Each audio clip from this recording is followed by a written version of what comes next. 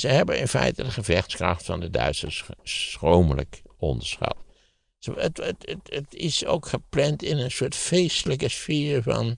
Huppakee, we gaan een ontzettend leuke onderneming die ongetwijfeld een geweldig succes wordt. Dat doen we wel even. Ja, en dat is allemaal dus niet het geval geweest. Dus 1500 doden, nou ja, het was, het, het was toch een vrij ernstige zaak. Het verlossen, kunt u mij horen?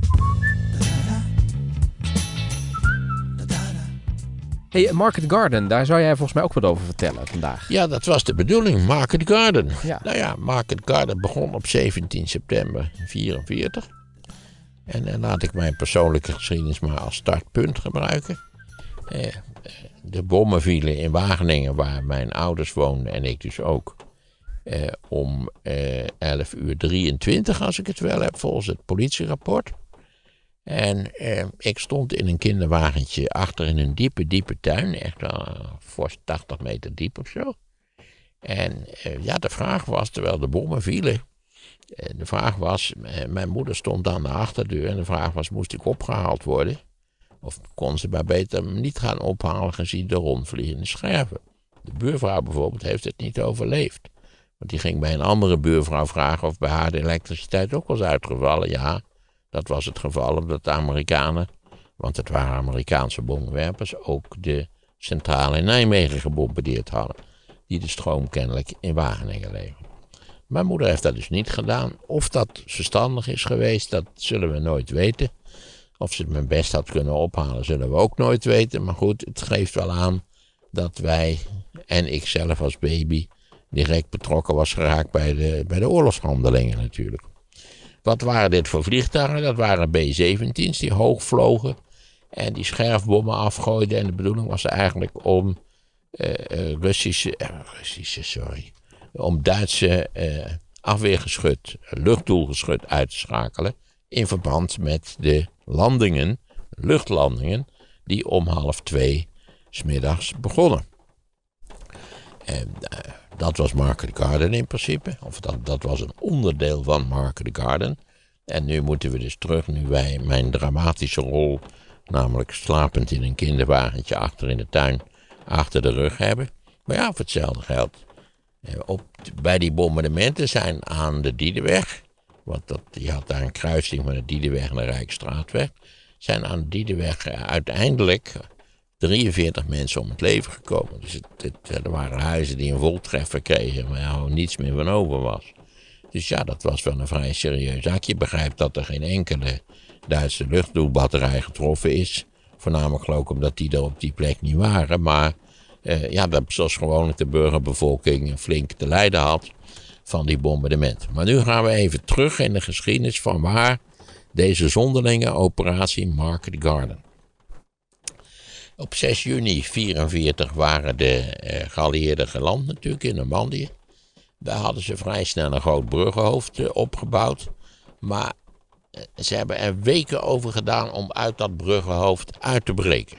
En tenslotte, eind juli, zijn ze daarin geslaagd. En toen ze eenmaal uit het bruggenhoofd waren gebroken, niet waar, rukten ze in enorm tempo richting Duitsland en richting het noorden op. En wel zodanig dat ze op begin september Antwerpen eh, in handen kregen. Dus toen waren ze al gevorderd zeg maar, tot de Belgisch-Nederlandse grens. Eh, Antwerpen de, viel eh, eigenlijk inclusief de haveninstallaties grotende, grotendeels onbeschadigd in geallieerde handen.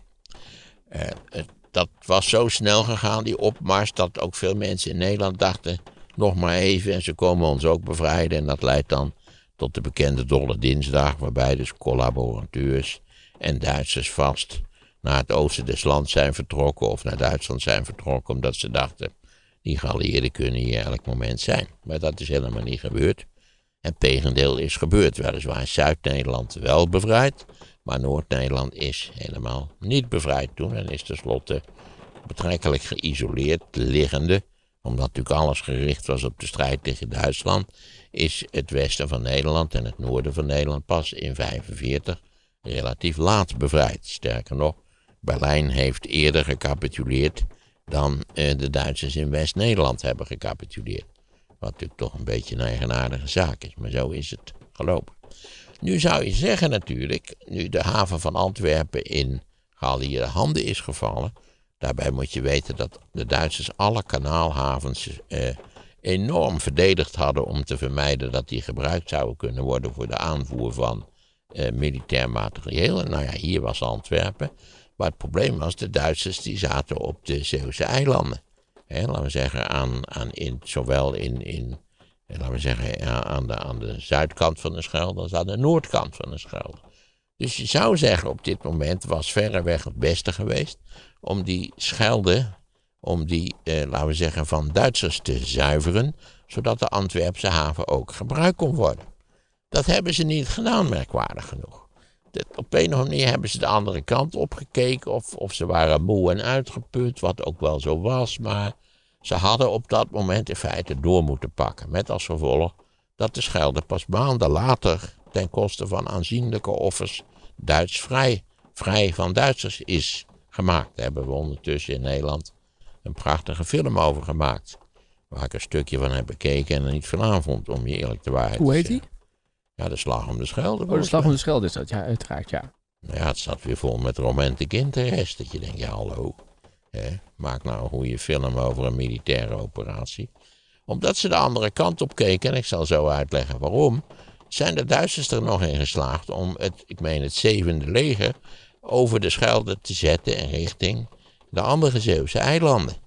Wat het later moeilijker heeft gemaakt om die Zeeuwse eilanden van Duitsers te zuiveren. Het blijft een betrekkelijk onbegrijpelijk moment. Eh, maar de hoofdreden was dat Montgomery, Eisenhower was toen de bevelhebber van alle geallieerde troepen, de Supreme Commander. En de belangrijkste generaals onder Eisenhower waren Montgomery, Bradley en Patton. Patton had verpletterende indruk gemaakt door een enorme snelle opmars door Frankrijk richting Duitsland. En daar stonden de kranten van vol. Dat was een hele held geworden. Uh, en Bradley had het ook goed gedaan. Dat was ook de organisator van dat uitbreken in, in Normandië. En Montgomery had het gevoel dat hij, dat hij niet voldoende aandacht kreeg. Hij wilde ook wel, hij wilde ook de blitz maken. Althans, dat is de interpretatie. Dus Montgomery had een fantastische operatie bedacht. Wat tenslotte Market Garden zou worden. En nou ja, allerlei militaire deskundigen zeiden meteen aan dat is een hele risicovolle onderneming. Zouden we dat eigenlijk wel moeten doen? Is dat eigenlijk wel verstandig? Maar goed, dat is doorgezet. En Eisenhower heeft zijn toestemming gegeven. Dat Eisenhower zei, ja, ik wil die lui, Bradley, Patton en Montgomery, die wil ik wel zoveel mogelijk vrijheid laten. Dus hem leek het ook wel een goed idee wat Montgomery had verzonnen. Want wat had Montgomery verzonnen? Eh, een Engelse eh, panzerdivisie zouden en met relatief hoge snelheid van de Nederlands-Belgische grens oprukken naar Nijmegen en Arnhem. Met de bedoeling de grote brug over de Waal en de grote brug over de Rijn in geallieerde handen te krijgen. En wel zodanig dat ten noorden van de Rijn een omvangrijk geallieerde eh, bruggenhoofd zou kunnen worden gevormd. Wat eventueel een kardinale rol zou kunnen spelen bij de tenslotte de finale aanval op Nazi-Duitsland. wat is een bruggenhoofd? Een bruggenhoofd is dat je, dat je een, een, alvast een, een, stukje terrein verovert. Neem, neem de landing in Normandië dan, je, je daar en je vormt een bruggenhoofd. Namelijk een zo sterke positie dat de vijand je daar niet meer weg kan jagen. En dat bruggenhoofd is een startpunt voor verdere militaire acties en eventueel verovering. Dus een groot bruggenhoofd ten noorden van de Rijn. Daar kwam het eigenlijk op neer. Uh, terwijl die, uh, laten we zeggen, die panzerdivisies oprukten naar het noorden, die zou in principe in 48 uur ongeveer op moeten rukken van ten zuiden van Eindhoven naar de brug in Arnhem. Het was natuurlijk wel zaak dat die bruggen dan vast in geallieerde handen zouden zijn. En daarvoor zouden parachutisten worden ingezet. Dus een Engelse parachutisten paradivisie zou landen bij, eh, bij de Arnhemse brug. En een Amerikaanse eh, eh, parachutistendivisie zou landen in Groesbeek. Die zou zich meester moeten maken van de Waalbrug. Wat was de potentiële kritiek natuurlijk hierop van, ja, als dat niet vlot loopt, eh, want wat die, ja, nu denk je van, je bent toch hartstikke snel bij het of van Eindhoven in Arnhem, dat over ons grote wegensysteem, maar ja, dit, was een, vrij smalle tweebaansweg, waarbij ook het aanpalende terrein zich weinig eh, eh, voor, voor eh, laten we zeggen, eh, panzerdivisies en, en, en acties daarvan. Kortom, het was een heel risico of je wel in 48 uur die, die afstand zou kunnen afleggen. En dan was er natuurlijk de kwestie, wordt het, worden die luchtlandingen een succes en zullen die para's in staat zijn om die twee bruggen te bezetten, zodanig dat ze bezet zijn op het moment dat die kolonne eraan komt. Nou, we kunnen het kort samenvatten, dat is allemaal volkomen misgelopen. En waarom is het misgelopen? Dat is de interessante vraag natuurlijk. Uh, kijk, voor, voor het, het, het komen van parachutisten heb je zogenaamde dropzones nodig je hebt een trein nodig wat je, waar dat eh, goed kan. En die dropzones zijn, laten we met Arnhem beginnen. Die waren al, al tussen de 10 en de 13 kilometer veranderd, verwijderd van de brug bij Arnhem. En daar was al gezegd, zou het nou niet handig zijn om, laten we zeggen, vlak bij de brug te landen? Nou, dat vonden ze toch een iets te groot militair risico. Dus die dropzones, die waren ter hoogte van, dat begon bij Renkum en, en over, over een relatief aanzienlijk terrein. Vandaar dat er in Wageningen ook werd gebombardeerd.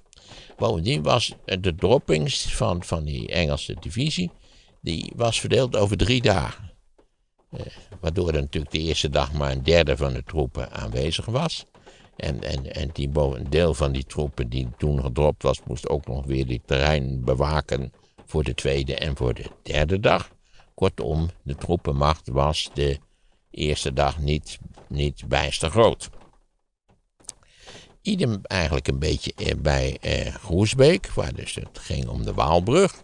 Daar, waar zijn de Amerikanen geland. En om redenen die nog steeds niet erg duidelijk zijn, zijn ze niet onmiddellijk doorgestoten naar de Waalbrug, maar hebben ze eerst het terrein gezekerd. En nou ja, waren er allerlei belangrijke dingen te doen, zodat ze pas eigenlijk het eind van de dag eigenlijk pas. En toen kwamen om richting die Waalbrug uh, op te rukken. Waar ondertussen de Duitsers een sterke defensieve positie hadden gevormd. Met als gevolg dat een directe aanval op de brug eigenlijk onmogelijk was. En toen is een, een ambitieuze amfibische operatie opgezet. Waarbij de soldaten met een soort uh, vouwbootjes over de Waal zouden trekken. Waarbij tientallen doden zijn gevallen aan geallieerde kant. Dus we waren daar al rijkelijk laat in feite. Maar tenslotte is de Waalbrug wel in geallieerde handen gevallen. Ook raadselachtig is waarom de Duitsers hem niet opgeblazen hebben. De waarheid zat vol met, met, met explosieven, maar de Duitsers hebben hem niet opgeblazen. Daar zijn meerdere verhalen over in omloop wat daarvan de reden was. En geen van die verhalen kan, laten we zeggen, kan van gezegd worden dat was de oorzaak. Een van de redenen is misschien wel dat de Duitsers, of langs generaal Model die de Duitsers commandeerde, dat hij eigenlijk de brug intact wilde laten voor een eventuele tegenaanval. Dat zou ook nog een mogelijkheid zijn. Aanvankelijk was, waren de Duitsers verward over wat, waar, dit vandaan kwam. Ja, bij die luchtlandingen waren toch 34.000 man eh, betrokken. Het waren denk ik de meest omvangrijke luchtlandingen van de Tweede Wereldoorlog, eerlijk gezegd. Eh, maar na enig nadenken begrepen ze dat het om de brug Arnhem ging. Hoe is die strijd verder verlopen? Dit alles begon dus op die 17e september van het jaar 1944. Die lui die geland waren daar eh, bij Arnhem in de buurt, die hebben zich verdeeld over een aantal groepen. Eén groep ging over een zuidelijke route van de landingsgebieden richting de Arnhemse brug. Eén groep moest de, landingszones verdedigen voor de dag 2 en dag 3. En een andere groep ging via een veel noordelijke route. De enige die bij de brug zijn gearriveerd, dat was de lui die over de zuidelijke route zijn gegaan. Onder leiding van Frost. Als je nu, als je nu gaat kijken in Arnhem, heet de brug die er nu is. Dat is een heel nieuwe brug. Die heet de John Frostbrug. John Frost heeft daar een heldhaftige rol gespeeld. John Frost bereikt de brug op die 17e om 8 uur s avonds en heeft daar een sterke defensieve positie opgebouwd. En gek genoeg hadden de Duitsers de brug niet erg effectief bewaakt. Je zou zeggen dat had moeten gebeuren. Bij dit alles kwam nog een heel vervelende omstandigheid. Dat de geallieerden er heel laat waren achtergekomen dat er twee Duitse panzerdivisies in de buurt van Arnhem waren. Eigenlijk waren het niet, niet intacte panzerdivisies. Ze hadden enorm geleden bij die, bij die zaken daar in Normandië en zo. Ze waren bezig om uit te rusten en, en zich opnieuw, uh, hoe heet dat, het opnieuw uit te, uh, allerlei spullen aan te schaffen. Maar ze waren er wel en het waren lui die wisten hoe je moest vechten. Laat ik dat nog eens nadrukkelijk zeggen. Om effectief te vechten, dat is een vak. Dat is moeilijk om effectief te vechten. Dat is het indrukwekkend in Oekraïne dat ze blijkbaar in staat zijn om effectief te vechten. Die militaire leiding daar die verdient een erepenning voor het feit dat ze dat zo goed kunnen doen. He, lang niet iedereen kan effectief. Je ziet het aan de Russen, die kunnen het helemaal niet. Maken er een potje van. Wel nu dus, de brug was nu in principe in Engelse handen geraakt. Eh, die verdediging van die landingszones die eh, is in de dagen daarna toch in het ongereden geraakt. En die andere groep waar ik het over had, die of via een andere route naar de brug gaan, is in feite al heel snel gestuurd op Duitse tegenstand. En dat moet je toch zeggen van Market Gardener, wat je onmiddellijk opvalt, is de enorme snelheid en efficiëntie waarmee de Duitsers de tegenstand hebben georganiseerd. Bovendien waren ze in staat om relatief zichzelf snel opnieuw te bevoorraden. Daar blijkt, de Duitse leger had daarvoor een speciaal een soort van uh, treinschema, dat heette Blitztransport. En dan werd alles, al het andere werd stilgezet en dan kwamen allerlei nieuwe spullen, voor zover nog aanwezig in 44 natuurlijk, die werden daar naar, eh, naar het, het, strijdgebied geleid. Overigens had de Nederlandse regering een spoorwegstaking afgekondigd, die, laten we het maar pijnlijk zeggen, geen enkel effect heeft gehad. Ja, het is ja, die we zullen zo zien dat hij wel degelijk effect heeft gehad, maar een heel onaangenaam effect op de lange termijn. Um, waar zijn we nu gebleven? Nou ja, nu zie je dus ondertussen rukt die, rukken die, die, die, die, hoe heet het, dat, die panzerdivisies op naar het noorden. En je begrijpt al, dat gaat niet zo snel als iedereen gehoopt had dat het zou gaan. Dus als ze tenslotte dan arriveren bij de Waalbrug, dan wordt die nog wel dat die, daar, daar slagen ze wel in. Maar eigenlijk zijn ze dan al te laat om Arnhem op tijd te bereiken. Want we zijn dan ondertussen drie dagen verder. En uh, die Engelse positie aan de Rijnbrug is, uh, die is eigenlijk opgegeven. Daar komt het op neer. Raakt ook gewond. Hè. Nou ja, dat, het is duidelijk dat het, gewoon niet, niet goed, dat ze het niet langer kunnen verdedigen. bovendien is het zo dat de hele rest van die luchtlandingen bij Arnhem, die is eigenlijk ook mislukt. Want dat heeft meerdere oorzaken. Ten eerste werkte de communicatieapparatuur niet vanaf het allereerste. Ja, dat zijn ook van die dingen. Dat hoe is het gods mogelijk dat je in 44, hè, na vijf jaar oorlog voeren, dat je een hele luchtlandingsdivisie op de grond zet en dat je radioapparatuur bij je hebt die niet werkt. Dat is natuurlijk van een verbijsterende stomzinnigheid. Dat kan er verder ook niet. Uh, en bovendien, Urquhart, de, de commandant daar bij die, bij die luchtlandingstroepen, die verdwaalt. En die raakt opgesloten per zolder en die, die kan in feite anderhalve dag of zo, kan hij zijn taak niet uitvoeren. Wat de zaken natuurlijk nog. Maar je moet je ook voorstellen dat die verschillende groepen van weg naar die brug ook niet met elkaar konden communiceren, omdat die communicatie, radiocommunicatie, niet functioneren. Dus uiteindelijk is na een dag of drie eigenlijk wel duidelijk dat de zaak volledig mislukt is. En Urquhart trekt zich terug in een klein bruggenhoofd bij Oosterbeek.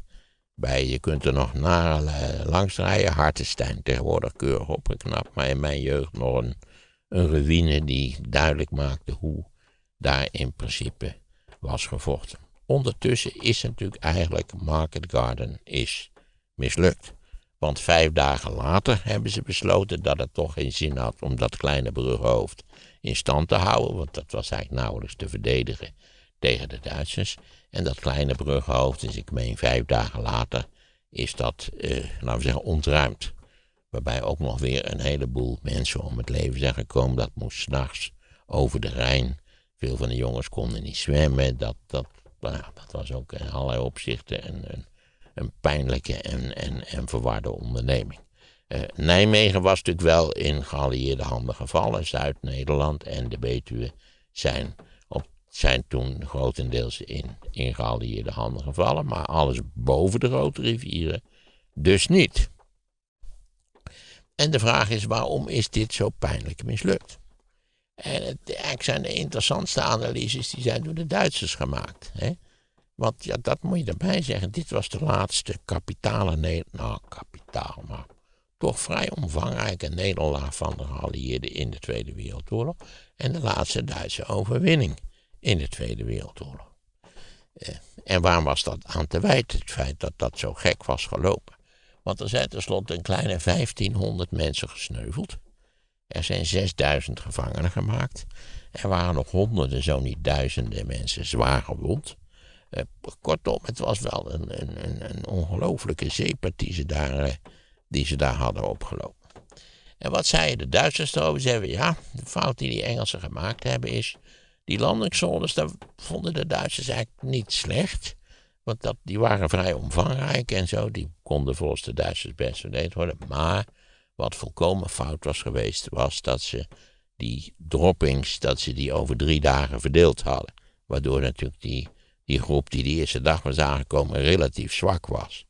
Zij, de Duitsers zei, je had de hele luchtlandingsdivisie de eerste dag op de grond moeten zetten. Dat had wellicht wel effect gesorteerd. Ja, zeiden ze zelfs. Je had, want ze hadden een, een bijzonder vrolijke voorstelling van de onbeperkte mogelijkheden van de geallieerden, wat deels wel juist was natuurlijk. Ze hadden in feite twee luchtlandingsdivisies de eerste dag op de grond moeten zetten. Dan was het gelukt. Nu was het zo dat eigenlijk maar een heel klein deel van die mensen die uh, uh, daarbij betrokken waren op die eerste dag bij de brug zijn gekomen. Want Frost had bij de brug misschien 600 of 700 man of zo. Het zal niet veel meer zijn geweest. Dus ja, zo is het eigenlijk. En dan kun je ook afvragen, waarom is er zo lichtzinnig gepland? Want dat was het. Frost had zijn, zijn hoe heet het, zijn, eh, zijn gala-uniform meegenomen en zijn golfsticks. Ze dachten eigenlijk, het, het was allemaal opgezet in zo'n euforische sfeer van, nou ja, eigenlijk is het, het is klaar met de gevechtskracht van de Duitsers. Die, dat is eigenlijk voorbij. Ze waren ook in paniek gevlucht tenslotte vanuit Normandië. Ze hebben het onderschat. Ze hebben in feite de gevechtskracht van de Duitsers schromelijk onderschat. Het, het, het, het, is ook gepland in een soort feestelijke sfeer van... Huppakee, we gaan een ontzettend leuke onderneming die ongetwijfeld een geweldig succes wordt. Dat doen we wel even. Ja, en dat is allemaal dus niet het geval geweest. Nogmaals, dus 1500 doden, nou ja, het was, het, het was toch een vrij ernstige zaak. Je vraagt je natuurlijk af, was, waren ook de organisatoren zich bewust van het feit dat ze toch een lelijke, een lelijke misser hadden begaan? Nee, absoluut niet. Want op het traject tussen de Belgisch-Nederlandse grens en Arnhem waren in principe negen bruggen. En Montgomery zei, nou ja, we hebben ze allemaal veroverd, behalve de laatste. Maar het ging om de laatste. Dat was de cruciale brug. Daar had het, daar had het uh, laten we zeggen, dat, een belangrijke positie opgebouwd moeten worden ten noorden van de Rijn. een belangrijk bruggenhoofd. En dat was dus uiteindelijk niet gebeurd. Dus ja, maar Churchill feliciteerde ook Montgomery. En Eisenhower zei goed gedaan, jongens. Maar feitelijk was, was Market Garden een volstrekt mislukte operatie. Maar goed, er zijn ook wel berekeningen die zeggen, nou, het zou wel kunnen dat de Duitse nederlaag, dat die een aantal maanden is uitgesteld vanwege deze suffe, deze suffe onderneming. Die beter zo helemaal niet in deze vorm ondernomen had kunnen worden. Ze hadden zich in eerste instantie moeten richten op het Duits vrijmaken van, uh, van Zeeland, zodat de Antwerpse haven volop gebruikt zou kunnen worden. Uh, nog vervelender was eigenlijk, en zeker voor Nederland, waren de gevolgen voor Nederland van Market Garden. Een band. Ten eerste was het mislukt, dus het noorden van Nederland, het noorden en westen van Nederland bleef in Duitse handen. Nou ja, dat weten we nu tot uh, in principe 5 uh, mei 1945. Uh, uiteindelijk hebben de Duitsers in Noordwest-Europa pas op 4 mei 1945 gecapituleerd. En voordat ze allemaal weg waren, waren we dagen verder in principe. Op Texel is notabene nog, nog doorgevochten, nog weken doorgevochten, nog veel curieuzer, maar daar gaan we het nou maar niet over hebben. dat blijft een van de merkwaardige dingen. Dat de Duitsers eigenlijk voortdurend ook in totaal hopeloze situaties als gekken hebben doorgevochten. Dat je denkt, ja. Dat zat met de motivatie dus wel goed. Ja, Van Rossum denkt daar altijd bij. Van, die was al heel snel met zijn witte onderbroek aan een, aan een stokje tevoorschijn gekomen. En dat ze zegt, van laten we hier maar mee stoppen, want dit wordt niks meer. Maar ja, zelfs het Rijksdaggebouw is, is nog fanatiek verdedigd tot, tot, ja, tot het laatste denkbaar moment. Toen Hitler zich over de kop geschoten had. Eh, had hij nou juist door zijn mond geschoten? Dat ben ik nou weer even kwijt. Maar goed, de NIW had zelfmoord gepleegd. NIW mag ik niet zeggen. Trouwens, trouwens. Samen met Eva Braun, hè, in de bunker. Ja, Eva was eerder gegaan en daarna was hij gegaan. En de hond, denk ik ook? Ja, die hebben ze cyanide ook gegeven om te kijken of het goed werkt. Bleek goed te werken. Ja. Uh, want, ik heb het al vermeld, er was afgesproken, hoe die zit, een Nederlandse regering in Londen had opgegeven, opdracht gegeven om een spoorwegstaking te beginnen.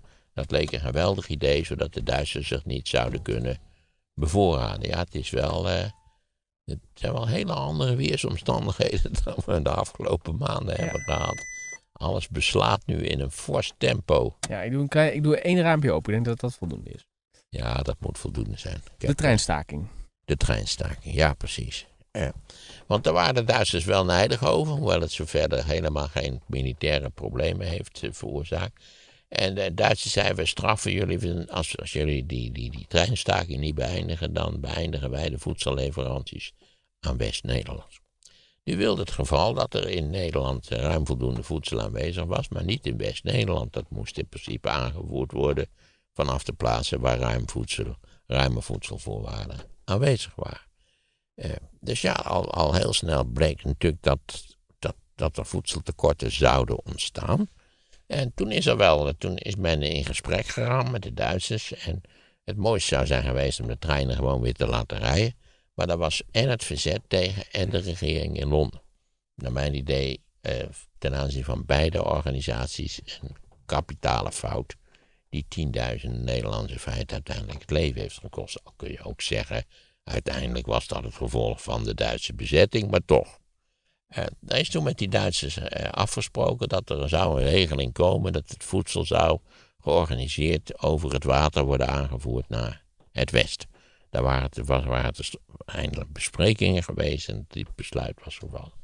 Nou, dat bleek aanvankelijk heel redelijk te werken. Pech. Het soort van pech wat we ook hopen deze winter niet te hebben. Er was namelijk één ontzettend koude maand. En wat gebeurde er? De kanalen vroegen dicht. En het voedsel kon niet meer naar het westen worden getransporteerd. Ja, waardoor er in feite niet waar hongersnood ontstond in West-Nederland. En, en, dat, daar is uiteindelijk eh, officieel van bovenaf is daar niets aan gedaan. En dat heeft geleid uiteindelijk tot 20.000 doden, denkt men. Dat is natuurlijk een, een schatting die vanwege dat eh, dat voedseltekort om het leven zijn gekomen. Zoals gewoonlijk bij dit soort calamiteiten was het overgrote meerderheid waren mannen. Als er calamiteiten zijn, ziekte, honger, zijn altijd de mannen die op grote schaal doodgaan. Meestal twee derde mannen, een derde vrouwen. En bovendien vooral mensen van 60 plus. Uh, en dan ook nog in het bijzonder vaak mensen in instituties. Oude van dagenhuizen, nou, dat, dat soort van in instellingen, om het zo maar te zeggen. Want bijvoorbeeld de jeugd, met name de schooljeugd, is er eigenlijk vrij genadig afgekomen. Uh, interessant is dat uh, mensen die in die hongerwinter, zoals wij hem noemen, de hongerwinter, in de buik van Ma zaten, dus uh, laten we zeggen baby's, die nog niet geboren waren, of ook baby's die kort daarna zijn geboren, die hebben allemaal toch wel vrij, ook op lange termijn, allerlei wonderlijke gebreken vertoond. Daar is ook in Nederland heel interessant onderzoek over gedaan. Want dit is natuurlijk interessant. Ja, wanneer komt het voor dat in een welvarend land, wat, wat goed gevoed wordt, plotseling in feite de omstandigheden een hongersnood ontstaat? Nou, dit dus. Eh, en dat heeft op lange termijn aanzienlijke effecten gehad. Ik blijf erbij dat de regering niet zo halstarrig gaat moeten zijn ten aanzien want de Duitsers zeiden, oh, we willen, je, je, mag best met treinen gaan rijden, maar uh, Dat is, uh, moet wel het, het, gewoon het eigen personeel moet daarbij betrokken zijn. Er rijden wel degelijk treinen over het Nederlandse spoorwegnet, namelijk Duitse treinen. Kennelijk komt dat wel. Denk aan het blitztransport ten, aanzien van Market Garden. Dus ja, Nederland, West-Nederland heeft een heeft ontzettende pech gehad. En die pech is deels veroorzaakt door het mislukken van Market Garden. Dat had dat, als ze, andere beslissingen hadden genomen, begin september van 44, wie weet wat er gebeurd zou zijn. Ik geloof dat ze op tal van plekken hadden ze de vlag al uitgehangen, omdat ze dachten dat de geallieerden al zover waren. Dat ging zo snel in België dat ze dachten, nou ja, dan zijn ze ook zo in Breda en, en, en ik geloof dat ze in Delft ook al de vlag hadden uitgehangen. Maar ja, dat is er dus niet van gekomen. En we hebben in Noordwest-Nederland hebben we nog moeten wachten tot mei 45 voordat we tenslotte bevrijd waren. Dat heeft 20.000 mensen heeft dat het leven gekost. En dat was niet nodig geweest. Al met al. Uh, we hebben natuurlijk de fameuze voedseldroppings. Hè, dan is de oorlog feitelijk afgelopen. En de droppings zijn indrukwekkend. En, en, de beelden zijn indrukwekkend. Er werd overigens ook sigaretten en mosterd afgegooid, heb ik begrepen. Maar je denkt, zouden ze daar nou, nou misschien wel op de sigaretten met een mosterd. Hadden ze misschien zonder kunnen doen, dat weet ik niet precies. Uh, maar dat was een druppel op de groeiende plaat. Maar dan heel snel komt de voedselvoorziening dan toch goed op gang. Maar voordat het allemaal weer normaal was, waren we toch ook toen een maand of twee, drie verder. Dus de mislukking van Market Garden heeft betekende enorme pech voor Nederland. We waren echte pechvogels. Nog een aspect wat ik moet vermelden. Het zuiden van Nederland was bevrijd. Dat betekende dat ook de Nederlandse brandstofproductie, denk aan de Limburgse mijnen, die waren ook bevrijd. Maar dat betekende wel dat die kolen van die Limburgse mijnen niet meer konden worden geleverd naar Noord-Nederland. Dus al heel snel ontstond in Noord- en in West-Nederland ernstig brandstoftekort. En dat betekende in feite dat, ja, dat mensen erop uit moesten, de bomen in de stad gingen omzagen. Eh, nou ja, op alle denkbare manieren, manieren probeerden toch nog een beetje te verwarmen. Maar ja, heel veel mensen hebben maandenlang op een vervelende manier in de kou gezeten. En dat is niet lollig om in de kou te zitten. Er is nog een wonderlijk aspect aan deze zaak, wat we niet moeten vergeten. Want ja, ik zei natuurlijk dat er honger was, er was het gebrek aan voedsel. Ja, uiteindelijk zijn, zijn de officiële organisaties en de regering er niet in geslaagd om voldoende voedsel voor die bevolking eh, te leveren. En het gekke is natuurlijk dat de Nederlandse bevolking heeft tenslotte gezorgd voor zijn eigen voedselvoorziening door middel van de zogenaamde hongertochten. Tienduizenden Nederlanders, nou misschien nog wel meer, trokken erop uit, fietsten naar, eh, laten we zeggen, Overijssel of, of eh, andere delen van Oost-Nederland, om daar dus aan voedsel te, te zien te komen. Dus mijn opa bijvoorbeeld, die ging op de fiets de Veluwe op, die woonde in Delft, dus dat was dagenlang fietsen. En die uh, verzamelde daar uh, aardappels. En, en waar sliep hij dan? Bij kennissen meestal kennissen genoeg. Tenminste, voor zover ik weet waren dat kennissen. Hij had ook een huisje, een vakantiehuisje op de, op de Veluwe, waar hij volgens mij ook ja, wel ging slapen. Ja. En, en, dat, ja, dat hebben heel veel Nederlanders gedaan. En die hebben op die manier, heeft Nederland in zekere zin zichzelf gered. Maar degene natuurlijk die dat niet konden doen, om allerlei redenen. Die moesten wel een fiets hebben. Ja, lopen, dat was toch een probleem. Ja, en mobiel zijn? Je moest redelijk mobiel zijn. Nou ja, vandaar 60-plussers. Vooral mannen. En vooral mannen in instelling. Ja. ja. Het is net alsof je leest over, over COVID eigenlijk. Dus hoe lang heeft het geduurd uiteindelijk, Market Garden? Nou ja, Market Garden zelf begint dus op 17 september. Het bruggenhoofd ten noorden van de Rijn, dat piepkleine bruggenhoofd, wat eigenlijk niet meer verdedigbaar was, is volgens mij op 25 september is dat uh, ontruimd. Dus toen was het evident dat het mislukt was. De operatie als zodanig was toen afgelopen. Ja, dus een hele korte periode eigenlijk waarin dat beslist is. Ja, uh, dat wil zeggen, voor diegenen die daar woonden in dat gebied, zoals bijvoorbeeld mijn eigen familie, uh, ontstond er al vrij snel een, een, nieuwe ramp, omdat de Duitsers de hele Veluwezoom ontruimd hebben, geëvacueerd hebben. En ook gewoon bekend maakte, denk erop de burgers moeten binnen, ze zo geloof ik, 1 oktober verdwenen zijn. Arnhem is compleet ontruimd. Honderdduizend mensen moesten van het een op het andere moment denken ook, er waren onderduikers, er waren huisdieren, er waren mensen die, die niet meer konden lopen. Je moet je voorstellen, dat, die zijn simpelweg de stad uitgezet en ja, zoek maar uit waar je heen wil. En dat was natuurlijk een hele merkwaardige. Wat de Duitsers prima hadden georganiseerd was trouwens de plundering van Arnhem. Het was per wijk georganiseerd. Ze hadden ook gezegd, het kwam goed uit, want dan hadden ze toch met de kerstmis 44, 45, hadden ze toch leuke cadeautjes in ieder geval voor, de, voor een thuisfront. Overigens, laten we er direct eerlijkheidshalve bij zeggen, niet alleen de Duitsers plunderden. De Amerikaanse leger heeft na de oorlog aan de gemeente Nijmegen, ik meen, 9 miljoen dollar betaald vanwege de systematische plundering door Amerikaanse soldaten van woningen in Nijmegen. Alle soldaten plunderen. Nu ook in Oekraïne gebeurt het ook. Alle soldaten plunderen, dat, daar kun je ja. begrip op innemen. Ook de Amerikaanse soldaten deden dat. En de naam Market Garden, waar komt die vandaan? Ja, dat is interessant. in feite, de Market Garden zijn twee operaties. Er, is namelijk, er zijn de luchtlandingen. Nou dacht ik dat dat Garden was. En Market is die op, dat oprukken van die panzerdivisies in noordelijke richting. Maar het kan ook net omgekeerd zijn. Dat dit, maar het een heeft de ene naam en het ander heeft de andere naam. Ja, en jij had het net over een onderzoek wat de Duitsers na afloop hebben gedaan. Een soort van analyse wat er mis is gegaan. Wanneer is dat uitgevoerd? Geen idee waar dat vandaan komt. Maar na de oorlog neem ik aan, nadat het allemaal voorbij was. Nee, ter plekke volgens mij. Oh, al, vrij, al vrij, snel hebben ze geconcludeerd waarom hebben wij succes gehaald en waarom is de operatie mislukt. Maar eh, als je wil, zoek het uit. Ik heb het gelezen in een op zichzelf natuurlijk weer Engels boek over eh, over Market Garden. Want daar is natuurlijk van alles over geschreven.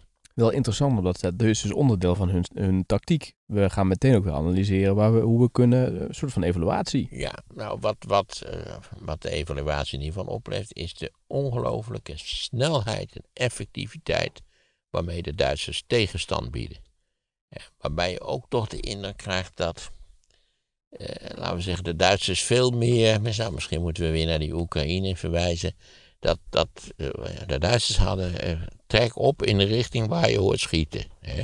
Terwijl de Engelsen hadden, waren veel hiërarchischer. En ook later las ik een stukje over Engelse gevechten in de Betuwe. Dat ook de Amerikanen zeiden, Jezus nog een toe, dit, dit, is, dit is Napoleontische oorlogvoering. Dit kan beter, sneller. Eh, eh.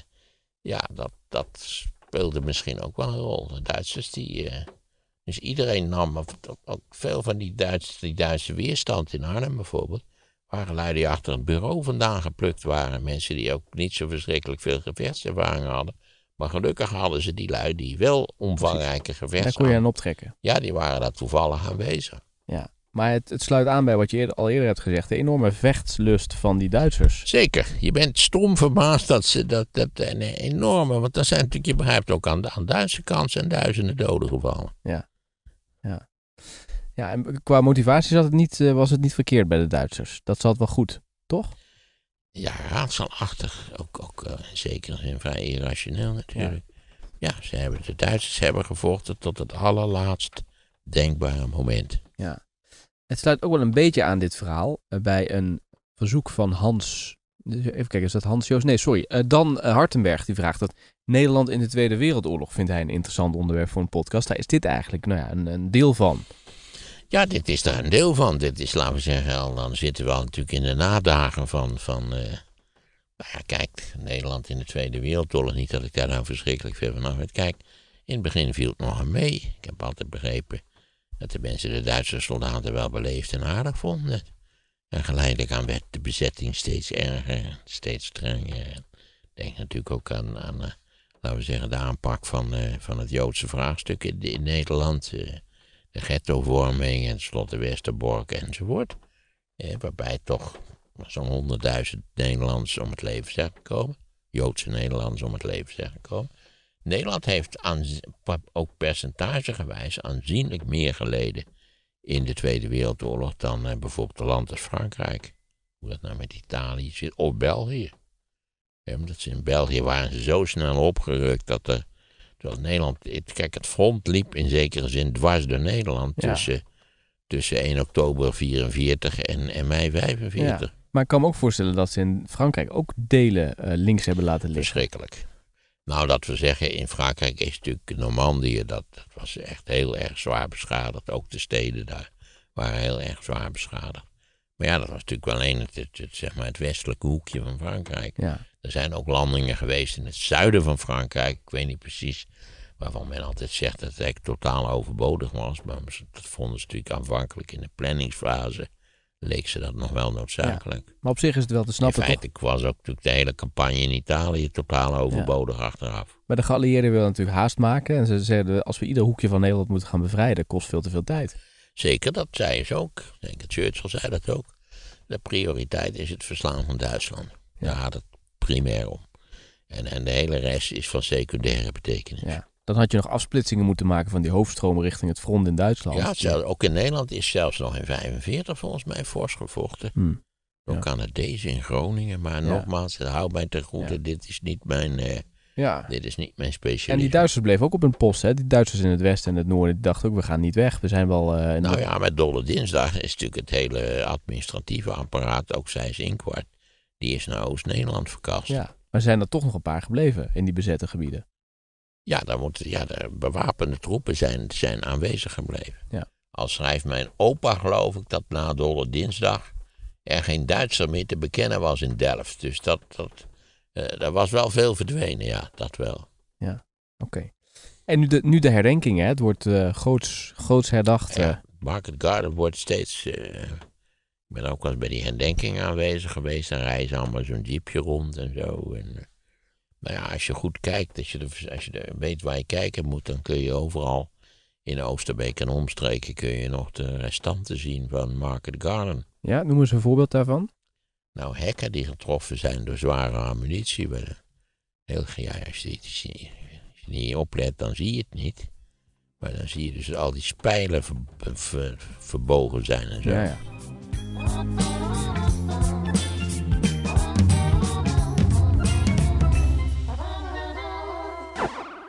Ik heb eigenlijk een dilemma voor Maarten. Wat heeft u liever? De Europese Unie knalt uit elkaar of u moet voor de rest van uw leven een korte broek dragen?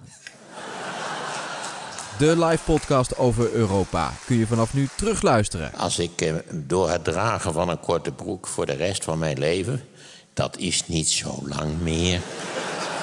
Het linkje vind je in de beschrijving bij deze podcast. De euro is een politiek project. De Europese Unie is uiteindelijk een politiek project. Dat het ook grote voordelen heeft en grotendeels economisch ingevuld is, dat doet niet af van het feit, het is een politiek project.